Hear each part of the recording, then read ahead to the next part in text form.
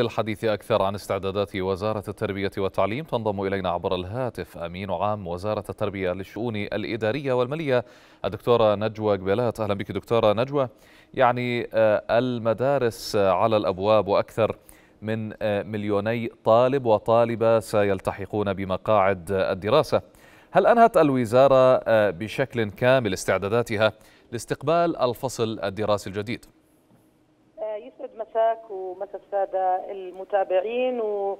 واسمح لي أن نبارك لأبنائنا الطلبة الذين يوم أمس ظهرت نتائجهم وتكللت جهودهم بالنجاح إن شاء الله تعالى. نعم.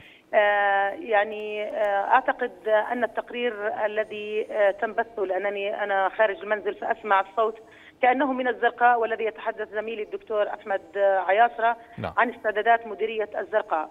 الآن بالنسبة لموضوع الاستعدادات بشكل كامل يعني حتى نكون دقيقين فيما نطرح لا زال لا زالت الكتب قيد التوريد فما تم توريده حتى مساء يوم أمس 95% من مجموع الكتب المدرسية المفترض توزيعها لأبنائنا الطلبة.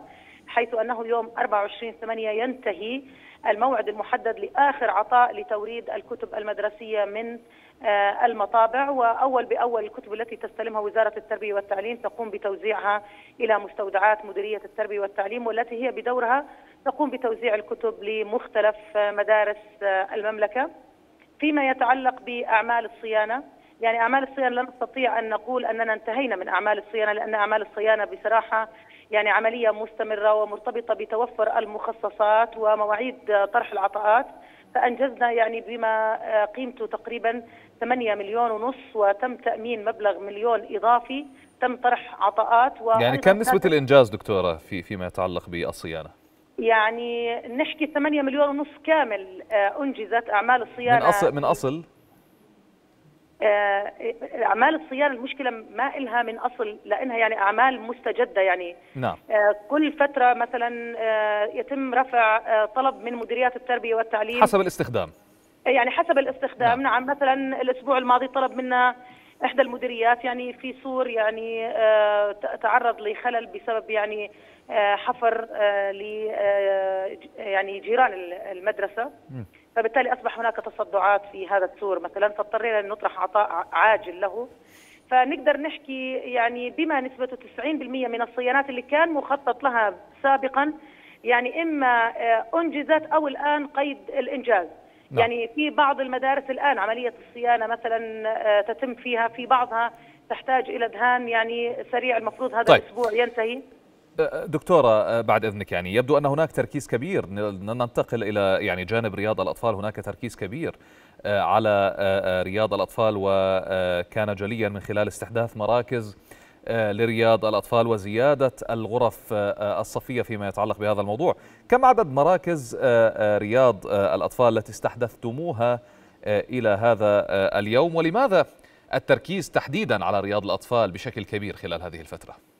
يعني أنت تعلم أن محاور الخطة الاستراتيجية لوزارة التربية والتعليم هي ستة محاور. أحد هذه المحاور وهو أيضا محور رئيس في الاستراتيجية الوطنية لتنمية الموارد البشرية 16 25 لإيمان الوزارة بأهمية تنمية الطفولة المبكرة وأثرها في تعليم وبناء شخصية الأطفال. أنت تعلم أن رياض الأطفال هي مرحلة غير إلزامية فبالتالي في السابق كانت وزارة التربية والتعليم لا تستقبل في المدارس الحكومية رياض الأطفال ولكنها بدأت تدريجيا في استقبال الأطفال في رياض الأطفال يعني تقريبا نتحدث عن 79 ألف طالب تم استيع... طفل تم استيعابهم في رياض الأطفال الحكومية نعم. وفي خطة وزارة التربية والتعليم تسعى إلى الاستيعاب الكامل حتى نصل إلى الإلزامية، يعني لا نستطيع الآن نتحدث عن إلزامية ونحن لم نستوعب جميع الأطفال آه الذين يحققون عمر الالتحاق برياض الأطفال. طيب دكتورة فيما يتعلق بقوائم انتظار طلبة رياض الأطفال حدثينا عن هذا الموضوع أكثر. بالنسبة لرياض الأطفال تحديدا آه تم الإعاز لجميع مدراء التربية آه استحداث ما يسمى بالنظام أو الدوام المرن داخل رياض الأطفال. بأن يسمح لمدير التربية بتكليف معلمة على حساب التعليم الإضافي بأن نستقبل تقريبا شعبتين أثناء الفترة الصباحية. فالشعبة الأولى يبدأ دوامها فقط بالمدارس المكتظة التي يوجد إقبال شديد ولا تستطيع أن تستوعب في غرف رياض الأطفال الموجودة. فالشعبة الأولى تكون دوامها من الساعة سبعة ونصف حتى الساعة الحادية عشر تقريبا.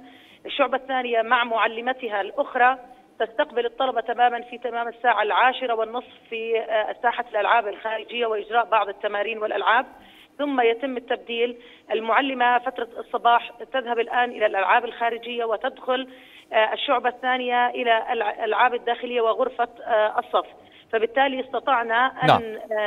نوسع الطاقة الاستيعابية في مثل هذا الإجراء. طيب دكتورة, دكتورة نظرا لضيق الوقت يعني نتكلم الآن عن اكتظاظ في بعض المدارس وتحدثتم سابقا عن الهجرة العكسية من المدارس الحكومية إلى المدارس الخاصة. هل هناك أي ضغوطات تعاني منها الوزارة في مسألة هجرة الطلاب إلى المدارس الخاصة؟ وبعجالة إذا سمحتي. آه للآن لم تتضح الأعداد لدينا سواء كانت من القطاع الخاص للحكومة أو للحكومة إلى الخاص. آه لأن دوام آه المدارس سيبدأ للهيئات الإدارية والتدريسية يوم 24 8 وبهذه الفترة تبدأ تستقبل أعداد الطلبة وسيتم تزويدنا بتقرير يومي من جميع مدارس المملكة عبر رابط إلكتروني تم إعداده من قبل وزارة التربية والتعليم. وسنعلن بشكل يومي عن أعداد الطلبة سواء كان المنقولين للخاص أو من الخاص. أمين عام وزارة التربية والتعليم للشؤون الإدارية والمالية. دكتورة نجوى قبيلات كنت معنا عبر الهاتف. شكرا جزيلا لك.